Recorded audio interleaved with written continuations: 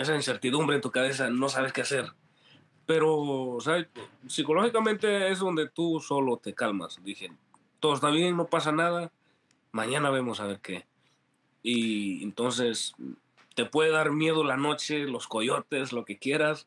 No sé, en ese momento simplemente dices, aquí estoy y, no, y nadie va a venir por mí. Así que lo asimilas. Muy bien, entonces eh, estabas en Oaxaca acostumbrado a que tu papá viajara de México a Estados Unidos, trabajara, llevara dólares a la casa. Un día tú te pones de necio y le dices, no, yo me voy contigo. Y tu papá, un tanto no tan convencido, pero te lleva. Están en el, están cruzando la frontera o ahí pasando el desierto y agarra la migra a tu papá. Entonces te quedas tú solo toda esa noche y pues con miedo decides agarrar fuerza de donde tal vez no sabes que había fuerza. Sí. ¿Y, cómo hiciste para encontrar la primera ciudad? No, fíjate, ah, te digo, pasó toda la noche y solamente enfrente de mí había un cerro muy alto, que me entiendes que era por la dirección donde iba el camino, donde íbamos a pasar.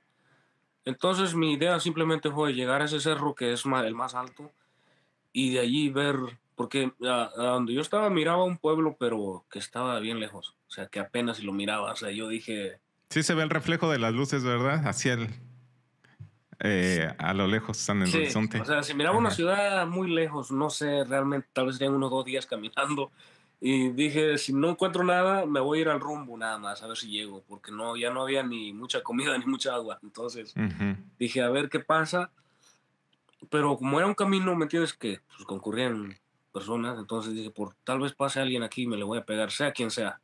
Entonces, uh, es lo que yo hice, caminé por todo el camino que íbamos a seguir, llegué al cerro este que te digo, y al llegar me siento y, y volteo atrás donde, de donde empecé y miro que viene una, una filita de personas bajando por todo el camino.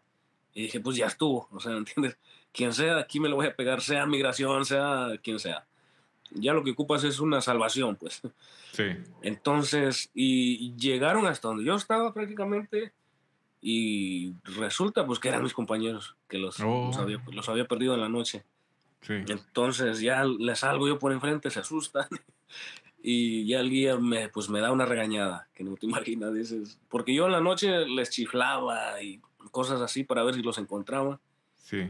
Y les dije, no, pues los andaba chiflando. Dijo, no, si serás, por tu culpa perdimos una noche de camino. A mí no me importó lo que me dijera, dije, yo ya los encontré, es lo que me importa. Sí, sí. Y dijeron, pues vámonos y le seguimos. Y de ahí para adelante ya todo bien, todo bien. O sea, tu guía los, en, los llevó a la ciudad, a la, al pueblito, la ciudad. Sí, ah, pues eh, el, guía te lleva hasta un punto, sí, pues prácticamente él llega con nosotros hasta Arizona, llegamos nosotros esa vez. Ajá. ¿Y, qué les dice? ¿Les dice ya, ya estuvo, ya paguen y váyanse o qué? Mm, pues es que nos, nos, llega, nos llega, llegamos a una casa, te entregan en, en una casa y ahí, ahí te tienen conforme vas pagando, te van llevando a donde vas. ¿Entiendes? Pues ya, ya estando aquí en Estados Unidos, pues ya uno se comunica con quien sea que está acá de este lado que te va a hacer el paro, ¿verdad? que decimos, que paga tu entrada.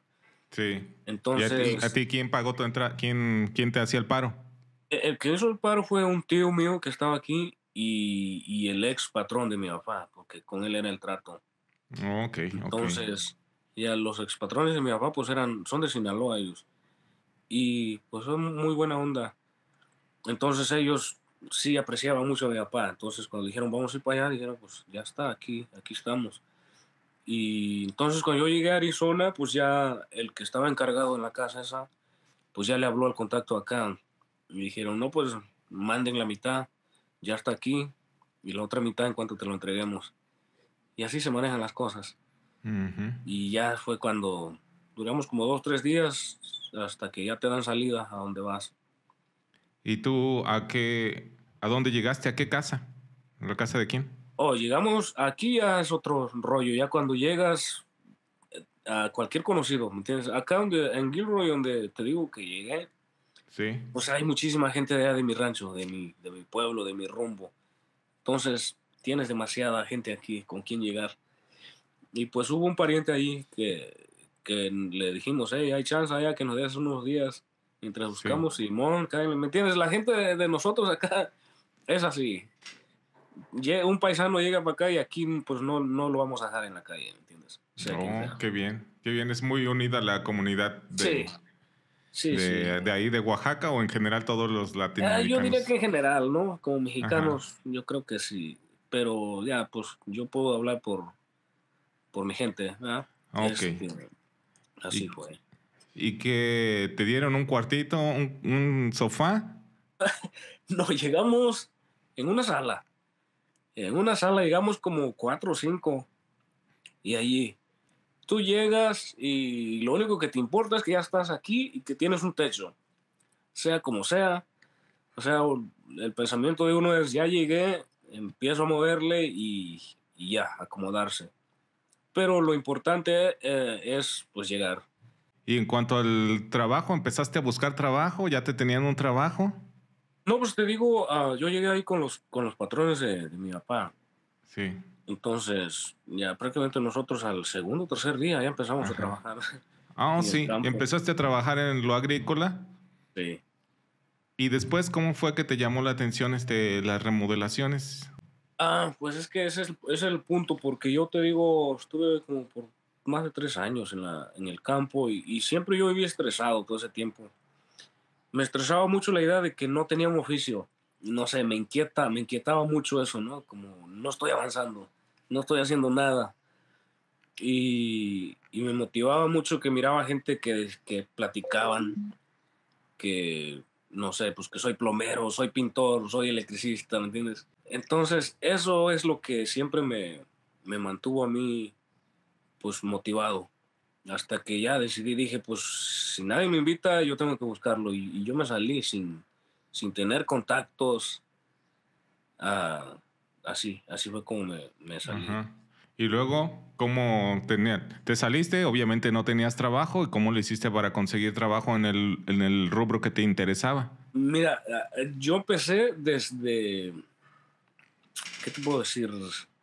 Desde lo más bajo, digamos, que es en este, en este lado, porque hay mucha gente, no sé, no sé dónde sea, pero hay lugares acá en Estados Unidos donde la gente se para para que los, eh, eh, como aquí es en Home Depot, vas a Home Depot y hay un montón de, de, gente afuera parados esperando que alguien los levante, ¿entiendes? Para ir a trabajar o algo así. Y, pero no tengo, no me acuerdo muy bien si yo llegué a eso primero o si había alguien, porque ah, supongo, que, supongo que yo me fui a la Home Depot a esperar de tiro, no tenía nadie. Entonces, ya ahí es donde me levantaron dos, tres personas, empecé a conocer a unos que a otros, hasta que llegó uno que hacía lo que yo hago, remodelaciones, y él me ocupó como por un mes. Y no, miento, como por seis meses estuve trabajando con él. Y y ya ahí dijo, ¿sabes qué? Se acabó el trabajo y, vamos a buscarle a ver cada quien que descanse o que haga lo que quiera. Vuelvo otra vez a Home Depot y, y me empiezan a, Empiezo a conocer mucha gente, ¿me entiendes? Americanos, mexicanos. Y, ¿También, hay, ¿También hay estadounidenses allá fuera del Home Depot? No, ¿verdad? Nunca. No, hay puro, puro mexicano, ¿verdad? Puro, puro mexicano. A ver, pero los estadounidenses sí van a recoger allá a los mexicanos para darles trabajo. Sí.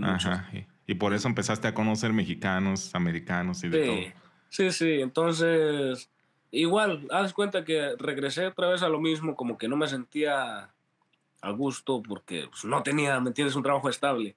Y dije, no, no, no. Entonces me he hecho a buscar. Prácticamente en la ciudad dije, bueno, ya estuvo me quiero acomodar bien, me voy a echar a buscar. Y empecé a caminar simplemente por la calle, a, manejar y ver, eh, digamos, talleres de lo que sea. Y es donde yo conocí el, granito. Había un taller que miré que habían piedras que yo no sabía qué eran. Entro y pues por lo regular la gente que trabaja aquí son mexicanos, ¿me entiendes? Los que ves trabajando y, y habían unos compas ahí, les pregunto, ¿no sabes si hay trabajo aquí? Tal vez sí que ve a la oficina, ahí está el, jefe, y así entro y, y, pues a lo que vas, ¿me entiendes? Diciéndole, a lo que ando buscando es trabajo, si tienes. Y el, el señor muy buena onda, realmente siempre voy a estar agradecido. Dijo, ¿Era mexicano? Es, es un nacido aquí, él. Es un pocho, ¿no? Decimos nosotros. Ya grande el señor, tendrá sus 50 años, pero muy buena onda. Pero nacido aquí él. Y dijo Simón, y todos los que trabajan allá eran, son puros mexicanos. Entonces, ¿qué sabes hacer? No, pues esto y lo otro, y, y ya. A los, a los pocos días ya entré a trabajar ahí. Una vez que, no sé, pues me entenderás, una vez, cuando no tienes trabajo y alguien te da un trabajo, vas a entrar con todas las ganas. Sí, sí, sí. sí, entonces, realmente yo, yo en los trabajos he, escalado muy, muy rápido, muy bien, porque me gusta, yo no me le rajo, ¿me entiendes? Entonces entré al granito y fui avanzando, avanzando, y muchos que estaban ahí por años se fueron quedando atrás incluso. y hasta que, pues yo puedo decir fácilmente que sí llegué a ser el, tal vez el mejor ahí en lo que es en la fabricación. Y me aprendí el, el, todo el negocio de, de, la piedra. De la piedra. Todo lo que es lo granito. sí. Sí. Ahí también, ¿qué más hacían aparte de granito o puro granito? Esa compañía se dedica a puro granito. o sea, a countertops, ¿me entiendes? A, lo que es piedra, ya sea paredes en baños o cocinas todo lo que es granito, cuarzo, todo lo que es piedra, pues. Y, y allí tuve varios años también, como unos 3, 4 años. Y igual, este, he sido pues muy inquieto, digamos, hablando en el trabajo, ¿no? Y me llamaba mucho la atención la gente que hacía remodelaciones. O sea, como aventar la textura, todo eso, todo lo que es el finish, porque mi idea pues era siempre, me miraba yo ahí, ¿me entiendes? y, y pues sí, así fue como un amigo me, me, empieza a recomendar donde él trabajaba, qué es lo que ellos hacían, pues todo eso, remodelación completa. Y este, prácticamente, oh bueno, es que también en, en el granito es un trabajo muy pesado. Entonces yo cuando ya busqué salidas porque ya me sentía muy cansado, o sea, te lastimas muy fácil ahí. Entonces, uh, por ese motivo yo empecé a platicarle al amigo, diciéndole, yo ando bien cansado, me duele acá, así. Y no, pues vente para acá, que tal vez sí te agarran. Y así fue. Y resulta que hasta me pagaban más, entonces me fui con, con mucho gusto. Sabía que era algo que me gustaba e incluso me pagaban más, así que ni la pensé. Ajá. Igual, una compañía de remodelaciones? Sí, haz cuenta que hacíamos como general todo. ¿Y cuándo? Ajá. Llegué a echarle ganas. ¿Y cuándo fue tu primer acercamiento con una cocina? Con una cocina, bueno, te repito, yo he sido muy aventado, ¿no? Entonces yo empecé a hacer trabajos propios desde que estaba en el, en el granito. a los, yo puedo decirte que a los cinco o seis meses yo miraba que los que ya está, tenían ahí mucho tiempo hacían sus trabajos por su cuenta los fines de semana y había un, había un hombre que, pues, es que yo a, quien vaya arriba yo lo voy a querer igualar siempre. Entonces, había un, un, compa de Guanajuato ahí, que él hacía, todos los fines de semana hacía trabajos por su cuenta. Y es un trabajo muy bien pagado. Entonces, desde que yo lo miré, dije, no, yo quiero ser como ese. Y, y sí, como a los seis meses yo, yo agarré mi primer cliente. Me dio una cocina y, y así me fui. Pero el puro, te dio el puro trabajo de granito, ¿verdad? Ajá, nada más el granito. Sí. Y así yo estuve como, digamos, los siguientes dos años. Cada fin de semana yo tenía un trabajo por mi cuenta. Entonces era, era un gran aliviane, como que me abría más la mente, ¿me entiendes? Como que te da más motivación a que hay más, hay más, siempre hay más. Y así fue que cuando yo entré a la compañía de, de construcción ya en general, pues incluso todavía yo seguía trabajando fines de semana por mí. Siempre había un trabajo para fin de semana. Y entonces así fue donde primero me contrataban solamente para el granito y después, pues, ¿qué más sabes hacer? No, pues también ya sé hacer gabinetes, así que si tienes gabinetes también. Hay gente que, que está buscando a alguien que haga todo, ¿me entiendes? Entonces... ¿Y cómo aprendiste a hacer los gabinetes? Ah, pues igual, en la compañía esta Ah, sí, sí, sí. Te mandaban ya a hacer. Es que no, eran, no era una compañía que se dedicaba tan, a remodelaciones a gran escala, eran como detalles pequeños. Sí, sí. Como ir a poner dos, tres gabinetes, ¿me entiendes? Entonces, pues ya le agarras. O sea, ya tenías tu, ya sabías utilizar la sierra, el pocket hole y todo eso. Todo, como que... ¿Ya sabías las medidas? Sí, sí, sí. Es que desde el granito uno, uno aprende lo que es medidas. El granito es donde vas a aprender a medir muy bien. Vas a conocer la cinta perfectamente. Entonces... ¿Por qué? Porque lo que son encimeras, ah, ¿qué te puedo decir? Ahí cuenta cada cuarto de pulgada, cada octavo. Si te equivocas por un octavo, es muy probable que arruines ya todo. Entonces, sí, hay mucha... ¿Cuánto tiene de, de, fondo, de deep, la, la encimera? Acá tiene 26. El, el, gabinete, el mueble mide 24 y media. 24. 24 siempre. Pero sale, eh, después del gabinete por enfrente sale una pulgada y media, lo, lo estándar, digamos. ¿Ya incluyendo la nariz? Ajá, o sea, la nariz, digamos, es una y media. Ah, ok. Entonces, el fondo, la, la, profundidad siempre va a ser 25 y media, 26. Por ahí así. Ok. ¿Y de, de, grosor? ¿Cuánto tiene el, el, granito? De grosor, hay dos diferentes materiales. Hay uno que se llama 3cm, o sea, 3 centímetros, creo que podría ser. Que es, ya, es como una pulgada, un cuarto. Sí. Y esa no ocupa, digamos, una laminación que se le pone por... Por debajo. Ajá. Sí, sí, arriba del gabinete, pero debajo de... Cierto. De la piedra. Ajá, entonces, y está la otra que es 2cm, que es como dos centímetros, diría yo, que son tres cuartos de pulgada. Entonces, a esa, se, ocupa, se ocupa laminación. Sí, se le ocupa una laminación. Y, ¿De pues, cuánto le pones la laminación? Es una y media. Entonces, eso es. Una y media del. ¿Qué le pones? Este. Acá le llamamos triple o cómo le llaman allá. Ajá, plywood. Plywood, plywood. Ajá. Es. Um, ok, ya, el plywood usualmente es para una cocina cinco octavos o tres cuartos. Entonces, a la encimera, cuando tú le, le pones pues la laminación por abajo, por la orilla, lo que es la nariz, como decimos, este, pues son tres cuartos, que es lo que te va a cubrir el plywood para que no se mire. Mm, ok. Entonces, y también te, el, el, aspecto, pues se mira más grueso, ¿no entiendes? Como de sí, una y media. Sí, sí. Y Pero ¿para qué es? Es para que no se quiebre, ¿verdad? Ah, el, el, granito, para eso es la laminación del plywood.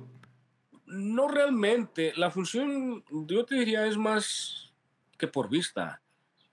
Porque hay, hay veces la gente que te lo dice sin laminación, o sea, lo quieren ver delgadito. Y nada más que uh, depende de las cocinas, depende del gabinete, porque hay veces la gente, es que ahí te va, cuando la gente, ah, ¿cómo te explico? El gabinete a veces va por adentro del gabinete, entonces no miras el plywood. Digo el, el plywood adentro del gabinete. Ajá. Ajá, entonces... Sí, o sea, como que el, el cabinet tiene su techo. Exacto. Ajá, y ahí se sienta.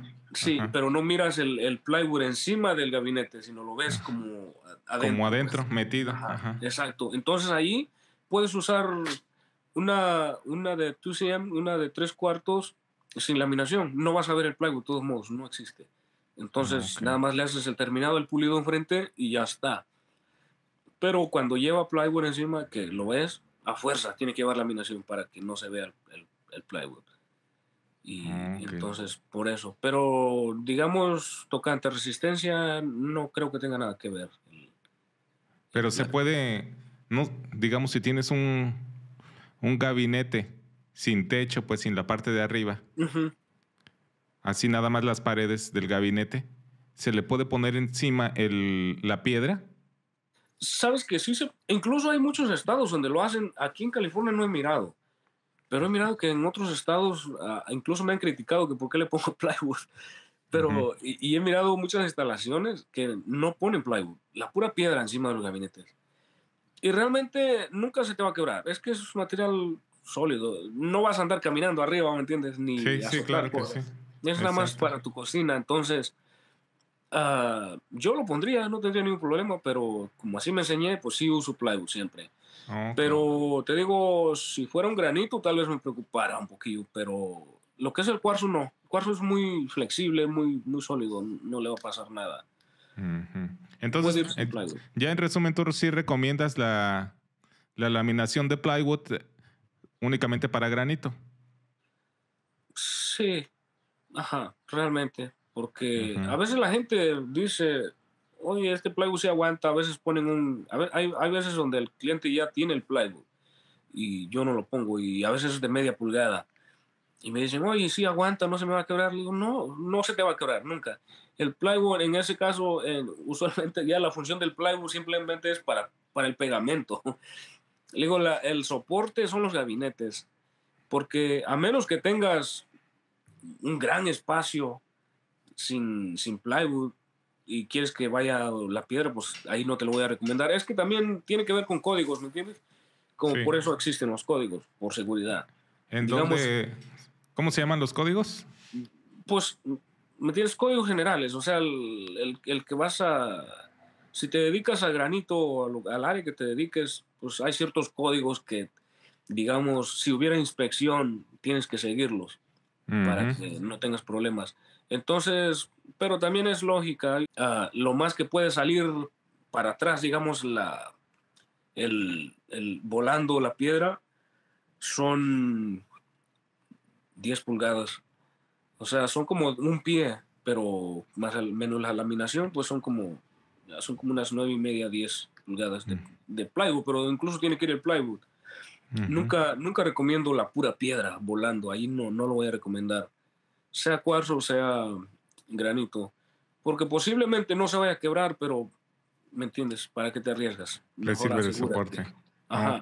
Entonces, pero cuando es, te digo, son 12 pulgadas, con el plywood esto es suficiente. Pero a veces la gente dice, no, quiero que salga dos pies más para afuera. ¿Sabes qué? Entonces ahí, ahí ya te voy a recomendar otras cosas. Ah, o sea, que le pongas unas soportes, al, digamos, que soporte la piedra que son como si fueran unas, unas patitas en las esquinas traseras, que es como si, si, si, fuera una mesa, te va a dar el aspecto como de una mesa. Entonces, o este, también hay unos brackets que se le llaman, que son de metal, sí. que los atraviesas en, en la isla, en el plywood, y, y, eso se va a atornillar a los gabinetes y eso te soporta te el peso. soporta el peso. Ajá atornillas los gabinetes, cuando los, los formas, los atornillas entre ellos y luego los atornillas hacia el muro. Ah, sí. No realmente. A veces. ¿Cómo le haces? Ah, perdón, a ver, empezando desde, desde el principio. ¿Qué, ¿Qué, pones primero, los uppers o los base? Ah, fíjate, yo pongo los, los, los base primero, pero mucha gente me, me, critica por eso. Pero es, es, lo mismo. Porque, ah, simplemente porque la mayoría, pues los instala así. Primero los, los de arriba. Ah, ¿Por qué los instalan así? Ellos. No sé, hace cuenta que es como un modo estándar, que cualquiera los instala así. Solamente somos unos cuantos que los instalamos primero los, los de abajo.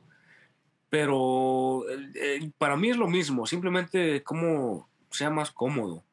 Sí.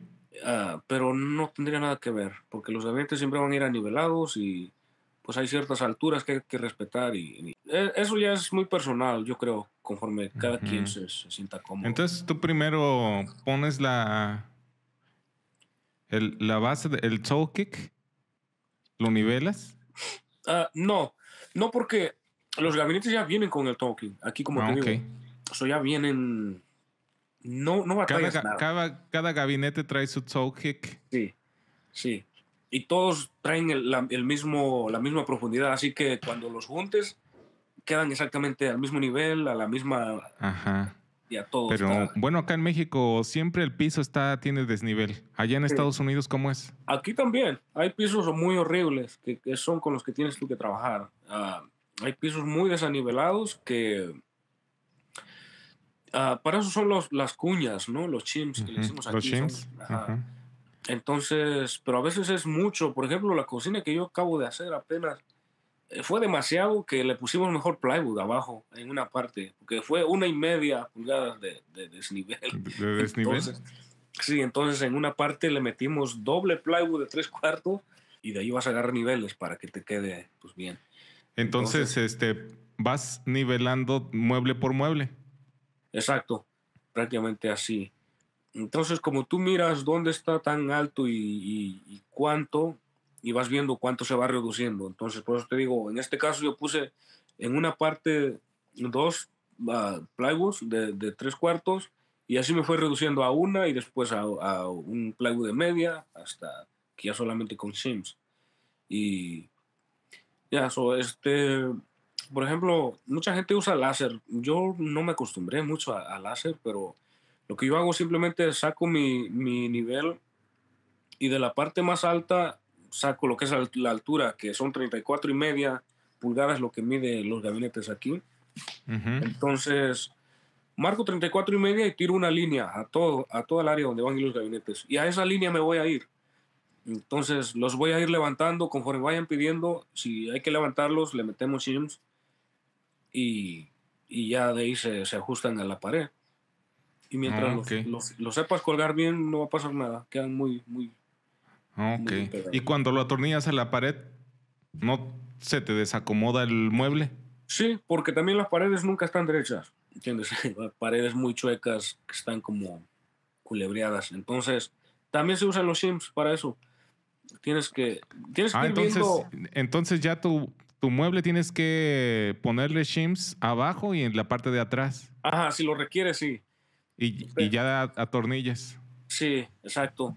O a veces este, los atornillas y tienes que ir chequeando enfrente qué tan derecho se ve. Si se ve que se están metiendo o saliendo, tienes que ir trabajando. Entonces, a veces los vas pegando y donde ves que se, se, se metió mucho, aflojas el tornillo, le metes un shim y vuelves a atornillar. Y mm. ya te queda parejo. Entonces son mañas, ¿me entiendes? Que uno aprende y sí, sí. te van... Sí. Entonces haces el trabajo de los base cabinets, luego los upper. Sí. Y luego traes el granito. Sí, exactamente. Primero yo hago los base primero, pongo el plywood y, y ya, yo lo que, por eso es que los hago así, porque yo me, me, puedo hasta subir a los gabinetes, ¿me entiendes? O puedo hincarme en esos gabinetes para poder trabajar con los de, de arriba. Con los de arriba. Es, es, la razón por la que yo la hago. Y, y, muy cómodo. Y te digo, mucha gente ha dicho que no, es que así los vas a rayar. Y no, es que depende cómo trabajes.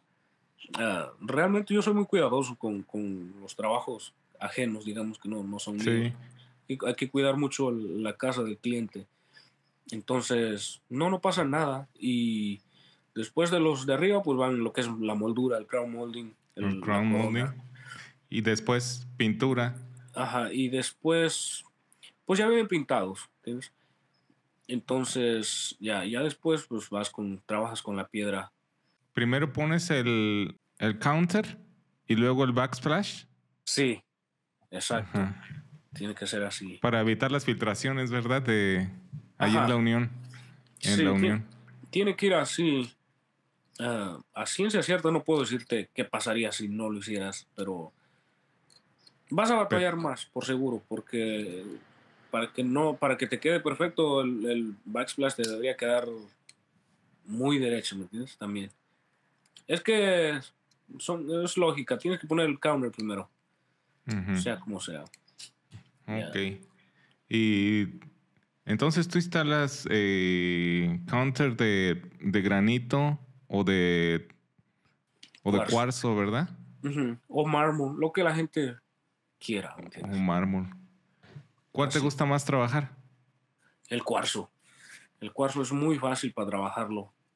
Sientes que es dinero fácil. Porque okay. es muy fácil para quebrarlo y es, y es menos pesado y como que es más, se presta más, es más flexible, no se te va a quebrar un cuarzo, al menos que no sepas nada. Pero un cuarzo no se te quebra. Y, y este, el, el, es más suave para trabajarlo también. ¿Y cómo sacas los descuadres? Uh, ahí son más que nada mañas los que vas a... Hay veces que, pues, cuando, desde el momento que tú instalas los gabinetes, te das cuenta qué paredes están descuadradas, ¿entiendes? Y entonces tú ya sabes que ahí vas a tener un problema con el countertop si, si, si no te pones listo. Entonces, sería como un poco difícil de explicarte, pero cuando pongo el counter, usualmente yo lo pongo todo a escuadra. Aunque, aunque la pared no esté exactamente a escuadra, el corte que yo le voy a hacer a la piedra va a ser a escuadra. y simplemente ah, de allí me, me agarro medidas para la siguiente pieza.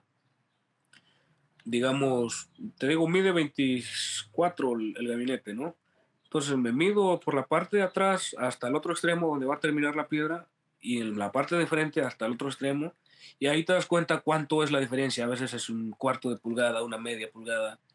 Entonces a esa inclinación le vas a hacer el corte a, a la piedra. No, sí, sí. Sí, Sí, te entonces ya entiendo. cuando, cuando la pones, pues te va a encajar. De otra Ajá. forma, si la, si la pared está descuadrada y tú a las dos piezas le haces el corte perfecto a escuadra, ah, no te va a quedar, o sea, te va a quedar, pero se va a abrir en una parte, Ujú. se va a abrir de la pared. Entonces, también a veces no importa cuando es un cuarto de pulgada, digamos. Sí. Usualmente sí. cuando es un cuarto de pulgada hasta tres octavos, no nos importa mucho porque uno sabe que con el backsplash lo vas a cubrir. Ujú. Pero ya, entonces son mañas más que nada. Sí, sí, sí. Ok. ¿Y de qué medidas viene el...?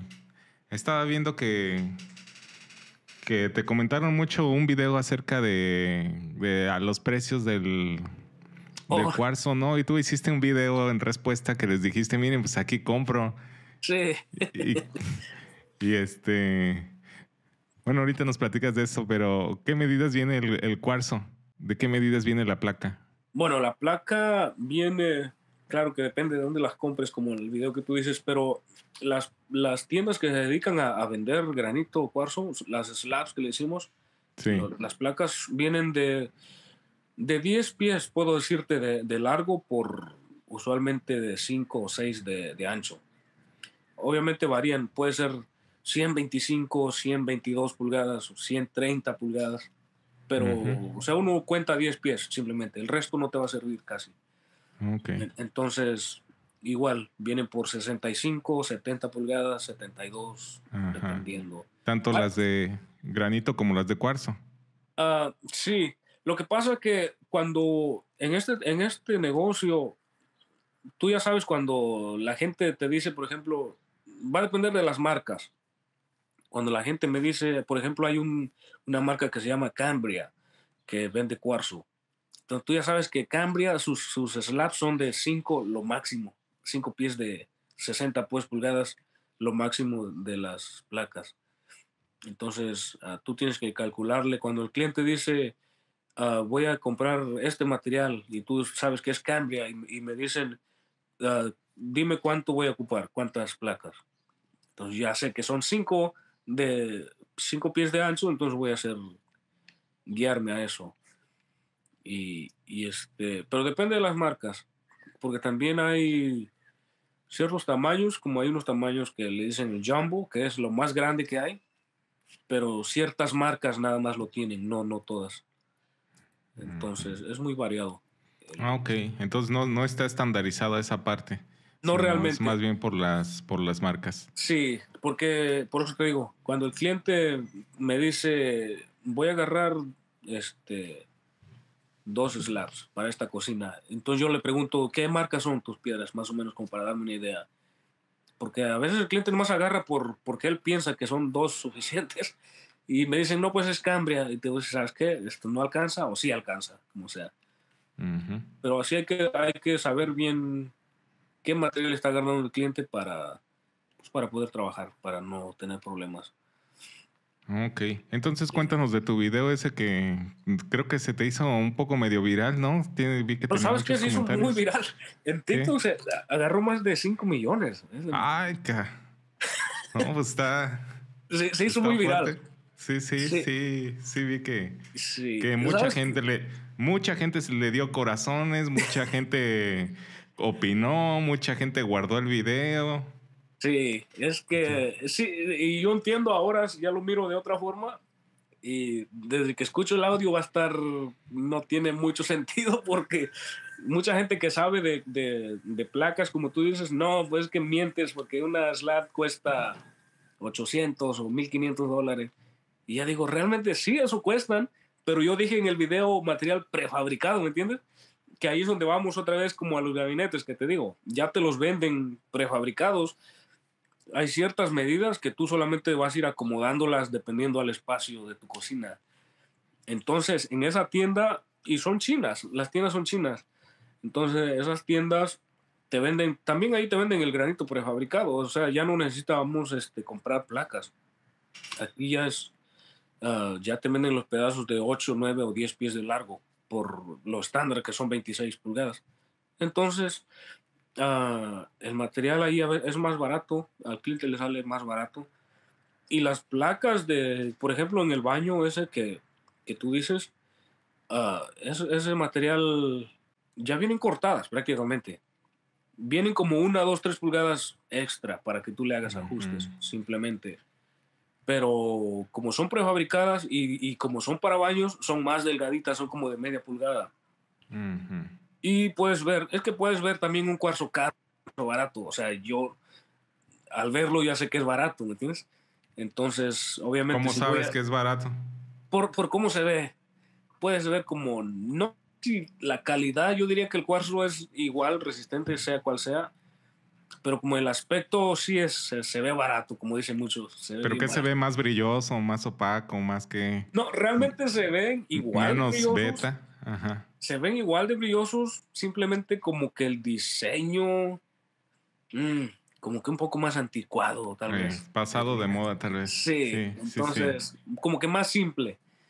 Más simple. Entonces, yo ya sé que es barato al verlo, pero entonces te digo, si digo que, oh, este material es muy barato para tu baño y el que sabe, el que no conoce ese material va a decir, pues estás loco, ¿entiendes? El, el cuarzo es muy caro. Pero eh, se trata de conocer. El que, el que no sabe, pues va a decir eso. Sí, sí, sí. Pues y más que en las redes, pues uno que hace videos sabe que. No, incluso. Eh, sí. Incluso se me fueron encima porque yo dije que, que lo. Es, creo que es lo que más la gente le llamó la atención. Que dije que lo instalaba en tres horas. Dijeron que oh, estás loco, que estás loco, que una remodelación, no sé en cuánto. Y yo dije, pues instalación, ¿me entiendes? Sí, o sea, yo te entendí perfectamente. No, no, veo, no veo necesidad de que te hicieran ese comentario porque tú dijiste ese me lo chingo en tres horas. Sí. Y yo dije, pues tiene lógica, son tres piezas. Y ya viene Pero hay gente que. Ajá. Sí, Pero hay gente pues que lo toma por otro lado y también está difícil que caigas bien a todos los que. Sí, o sea, no, no lo entienden bien, No lo escuchan bien, no sé. Tal vez también ni me explico bien, pero al final y cuento digo, pues qué, qué, qué chingón, porque el video, mira, pegó mucho. Sí. Entonces, no importa lo que digan. Obviamente. Y después. Sí. Sí, obviamente te digo una. Sí, te conviene porque pues tú estás subiendo un video y te dan comentarios, todo conviene, bueno, malo, todo conviene. Sí. Es publicidad para ti. Así es. Y, este, y ya luego les contestaste con un video diciendo, miren, en esta tienda así, así, este, aquí compro y si se van a otra tienda van a estar más caros, pero me llamó la atención que ahí en esa tienda de chinos, este, ya tienen el granito prefabricado y ya viene incluso con el, hueco para el zinc. Oh, sí, hay muchos que ya vienen con el zinc también, cortado ya. Oh. Este, es que los chinos, sabes que pues son chinos, son son vivos, ellos no van a perder la oportunidad, ellos te venden todo, todo, todo. Incluso ahí mismo te venden hasta el mueble ya con el zinc instalado y la piedra, o sea, ya nomás para que te lo lleves.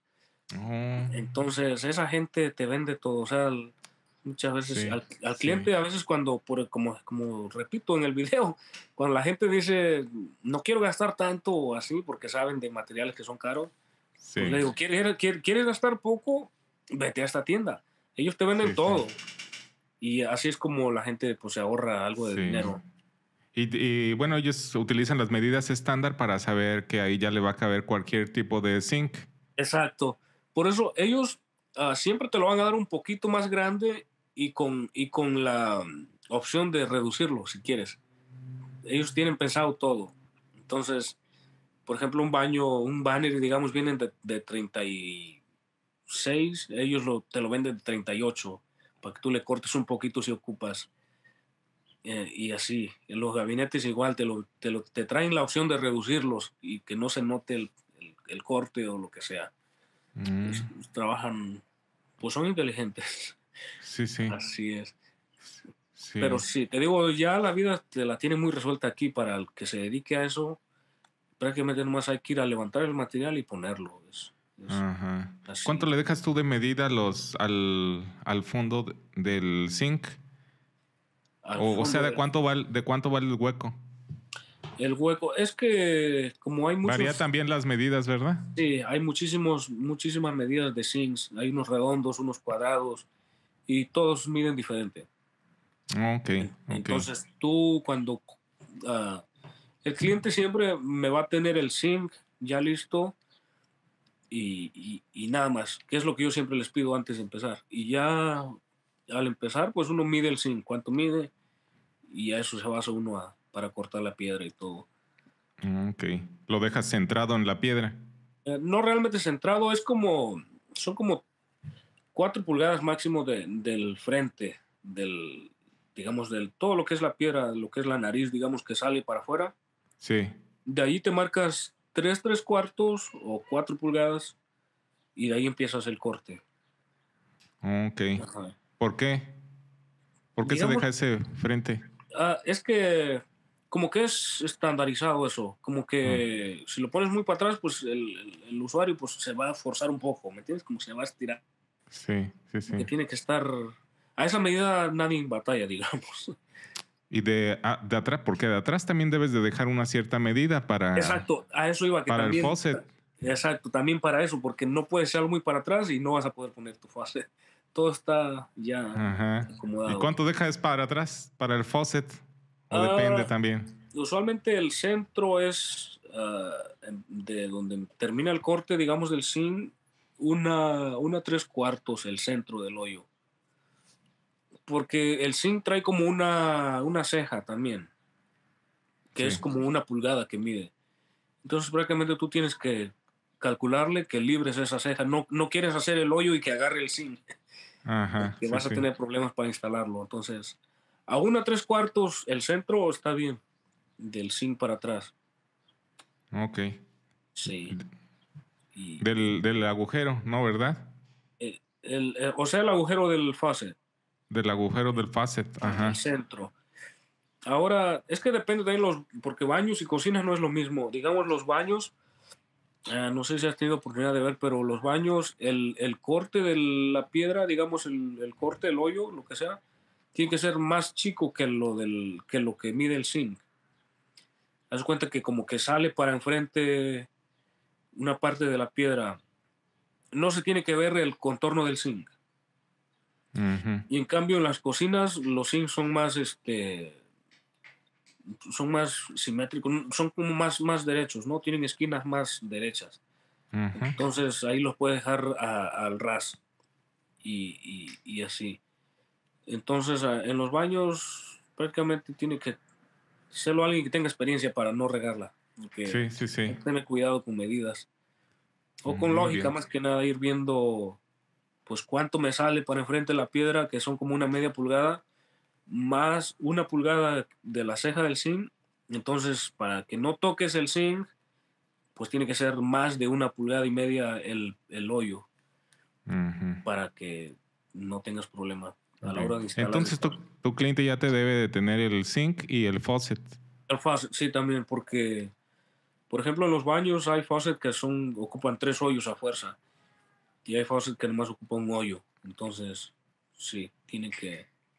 Esos tipos de detalles uno tiene que saberlos muy bien. Muy bien. Ya no lees el instructivo y tú yo, ya con la experiencia que tienes ya, ya Exacto. sabes cómo va a ir. Sí, o sea, lo, lo primordial cuando uno hace un trabajo es decirle al cliente necesito esto y esto para el día de la instalación. O a Muy veces bien. dicen, oh, la fase no me ha llegado o todavía no la tengo. No se hace el hoyo de la fase hasta que llegue. No sabes cómo va a estar. Y, y entonces también ocupas que te entreguen este si va a utilizar hornos Ajá, en las cocinas, sí. y si va a utilizar este la parrilla, ¿cómo le llaman allá? Hop. O el, el cooktop, ¿no? El que, el que Cooktop. no, ajá, el que Ajá. no es una estufa deslizante, sino es de las que van montadas arriba. ¿no? Sí, que van Sí. que van empotradas. También esas uno ocupa saber las medidas. No, no puedes. Y eso es lo mismo, le tienes que dejar un espacio atrás y otro espacio adelante. Sí, usualmente son como dos pulgadas. Casi todas te van a pedir casi lo mismo. Dos pulgadas. Ajá, como dos pulgadas del... Sí, porque sea estufa o zinc, al final cuánto te terminan este, quedando como a tres y media, tres y media, tres, tres cuartos del frente para a, donde está. Entonces, en una estufa prácticamente lo puedes centrar, dejarlo centrado, ahí no hay problema. Y, pero te digo, usualmente es a dos pulgadas, dos y media el corte. ¿Tú trabajas con alguien más? Ah, trabajo, tengo dos, dos ah, ayudantes más. Trabajan conmigo. Dos ayudantes, ajá. ¿Cuánto allí en tu zona de California? Este, tu pueblo se llama Grillroy, Grillroy, California. Sí. Hay, ¿qué, ¿Cuánto está ganando una persona que empieza a trabajar? Eh, que pide trabajo y, no sabe nada de, de gabinetes, de remodelación. Ah, tal vez te, te, da, te darán unos, yo creo que lo regular unos 18. 18, ok. Sin saber. Y alguien que y alguien que es experto que ya le dice, le puedes encargar cosas, le puedes decir, ve cortando esto mientras yo hago esto. Ajá. Que alguien que es experto, ¿cuánto puede ganar allí en la zona? En la zona de California. Yo diría que alrededor de unos 35 dólares. Mm, pues en realidad está bien. Sí, porque, pues te digo, cuando yo me salí de trabajar de la compañía, yo ganaba 32 y me salí. Y, y, después, y después me llamaron como a los dos meses que regresara y me daban 35. Y, y no, no regresé, no quise. Pero, ya no te convino, ya no era conveniente para ti.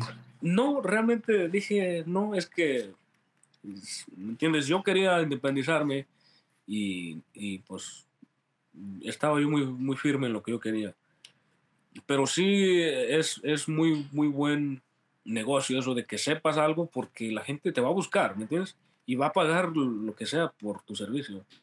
Es tal cual. Y entonces, pero sí es lo que andan ganando. O sea, obviamente hay quien gana mucho más, dependiendo. Por ejemplo, los plomeros o eléctricos, ellos ganan todavía más. Hay gente que gana sus 70 dólares a la hora y, o más todavía es, muy rentable tu conocimiento acá, entonces. Ajá. ¿Y tú cómo le haces para conseguir clientes? Sabes que yo te diría que ahorita ya estoy solamente en puras recomendaciones. Pero cuando yo empecé, pues yo le busqué como sea. Yo me publicaba hasta en el Facebook. O sea, yo no tenía ni vergüenza ni nada. Sí, Cuando sabes lo que quieres. Este, y así me empezó a llamar mucha gente. Y otro, otra estrategia que yo también usé pues fue relacionarme con contratistas. Al contratista que yo conociera le trataba de, de vender prácticamente. Decirle, mira, yo hago esto, o sea, cuando ocupes. o hacerme mis tarjetas y dárselas, ¿entiendes? ¿Y cuánto tiempo pasó? Porque al, cuando las personas eh, iniciamos un negocio, es el problema, ¿dónde saco clientes, verdad? Sí. Y si tienes dos, tres ideas, pero no te caen así como si aventaras una red y pescaras clientes, sino que te van cayendo de agota, de agota. Uh, yo, yo personalmente siempre digo que va a depender cómo uno se... Tiene que ver mucho tu carácter con el cliente, tal vez tu personalidad, porque realmente me funciona mucho a mí, el cliente me recomienda por seguro. Entonces, uh, pero te digo, al principio es que fue bastante raro porque a mí mucha gente me decía, no, ya salte y, y aviéntate tú solo, no importa. Y que no vas a tener clientes, pero tú aguántale, tú aguántale. Y, y sí, cuando yo empecé solo, pues sí tenía yo esa mentalidad. Pero irónicamente, desde que yo empecé no descansé hasta como un año después. No dejaron de caerme trabajos, entonces no puedo decirte que le batallé mucho al empezar, no fue así. Ah, porque también te digo, desde que yo estaba en el granito empecé yo a irme aclientando. Entonces, sí tenía yo algunos clientes y de repente se me daba por poner una publicación en el Facebook, digamos, y salían más clientes. Entonces, así fue como yo, pues no me, no me ha hecho falta trabajo. Hemos estado ocupados. ¿Y cuál es el precio del, del pie lineal? De del pie lineal de cocina. Del ¿Cómo, ¿Cómo se cobra? ¿Cómo se cobra ya al cliente si te dicen quiero esta cocina? Ah, mira, yo antes, ahorita mis, ahorita los precios dependen de cómo se vaya uno acomodando. Yo no cobro realmente por pies cuadrados, pero recuerdo que en los primeros inicios sí los cobraba yo por pie cuadrado, digamos el granito, y eran como entre 65 o 70 dólares el pie cuadrado con material. Dependiendo qué material, obviamente. Este, pero ya de un tiempo, más o menos calculas cuánto cobras por cada placa, digamos. Entonces, me funcionaba más así y mejor así lo dejé. Entonces yo cobro, digamos, por placa, por, por, por slab. O cuando es prefabricado, por pieza. Ya sea de 8 o de 10 pies de largo, lo que venga, los cortes que lleve. Yo tengo un precio ya fijo por cada pieza y me resulta. O sea, sea que lleve muchos cortes o no, me va a resultar. Entonces, digamos, por un, por un slab, yo ando cobrando, depende si es cuarzo o si es un, un mármol o si es un quartzite, que son muy duros. Este, pero una, un, un cuarzo, digamos, yo la cobro entre 1.800 a 2.000 dólares por placa o hasta más a veces, dependiendo también del cliente, hay que ser honestos. Sí, sí, sí. A veces 2.300, 2.200. ¿Te regatean? Rara vez, muy rara vez. Pero sí. Pues, ¿Quiénes, son tus, ¿Quiénes son tus clientes? ¿Mexicanos o gringos o qué? Fíjate que es variado. Este. Pero yo diría que últimamente son más, más mexicanos. He trabajado mucho con muchos mexicanos. Usualmente, primero agarraba mucho americano también. Y también evitaba trabajar casi con... Es que es el problema con nosotros aquí, que a veces entre nosotros nos, nos tenemos mala fama y, siempre decían, no, los mexicanos, los, nuestros paisanos son mayorones. y, pero realmente no, no, no todos. Últimamente he estado trabajando con muchos mexicanos y no regatean y son buenos pagadores. Así que yo ese, esa mala fama yo ya no, no la sigo. Este, pero sí, quien te va a regatear, digamos, hablando de razas, son los hindúes, hindúes o chinos, ellos sí. Pero eh, honestamente yo, yo sí los evito. Son como, también no todos, pero sí hay algunos. Y cuando un cliente te dice, quiero una cocina, ¿cómo, le, cómo te dice cómo, cómo la quiere. Es decir, te muestra un diseño, fotos, o tú le haces el diseño. Sí, ah, va a depender. A veces la gente quiere ah, renovar solamente la cocina. Es, digamos, vamos a seguir con el mismo modelo, estilo, simplemente nueva. Entonces, a eso nos guiamos, agarramos medidas y ordenamos el material. Pero cuando el cliente está remodelando, que quiere mover todo, este, ya sea que le damos ideas dependiendo a otros trabajos que hemos hecho, que esté el, lugar más o menos parecido. Se le enseñan fotos, se le enseñan pues esos detalles. A veces el cliente le gusta o el cliente a veces ya tiene la idea. Simplemente dice, quiero esto acá, la estufa acá, el refri aquí, una isla aquí. Y así, uno, uno ya, y, los detalles que hagan falta, pues uno los, los acompleta ya no has regresado a Oaxaca. Tiene, no, no, he regresado nunca, prácticamente desde que vine. ¿Hablas con tu familia que tienes allá? Sí. Sí, de vez en cuando. sí, tenemos comunicación y. Sí, no hemos perdido contacto. Pues supongo que han de estar muy orgullosos por todo lo que has logrado, lo que has aprendido y, y sobre todo esta actitud que tienes de, de que no te da vergüenza, que Señor me da trabajo, que eres arriesgado, valiente. ¿Qué te dicen de eso? Realmente sí. O sea, yo sé que sí. ¿A quién se lo aprendiste? Sabes que yo siempre he dicho que el carácter yo lo tengo de mi papá. Mi papá fue un hombre de carácter muy, muy fuerte. Ese hombre nunca se rajó en nada. Entonces, ya, yo creo que en él, o sea, la personalidad, yo, yo no, como que aprendí, o siempre he tenido eso de que a nadie me lo voy a achicar. ¿entiendes? no me voy a intimidar por nadie, sea quien sea la raza que sea. Tengo ese carácter que me gusta realmente. Y sí digo que es a mi papá, porque es más que nada la personalidad que yo tengo. Y, pues, ¿qué puedo decirte? Ok, pues eh, Benny Martínez, muchas gracias por haber respondido las preguntas que teníamos para ti. Hemos aprendido a, a lo largo de tu historia cómo por prácticamente por necesidad tuviste que emigrar en, hacia Estados Unidos, en medio del desierto, te quedaste, te quedaste solo, pero no, Sí. no te rajaste, seguiste, encontraste la ciudad, pediste trabajo, te desarrollaste en cada uno de tus trabajos, pero al final tu sueño era como tener tu, tu propio negocio y ahora tienes tu negocio y, y tienes este, a dos colaboradores que, que, pues te echan la mano ahí a sacar el, el trabajo.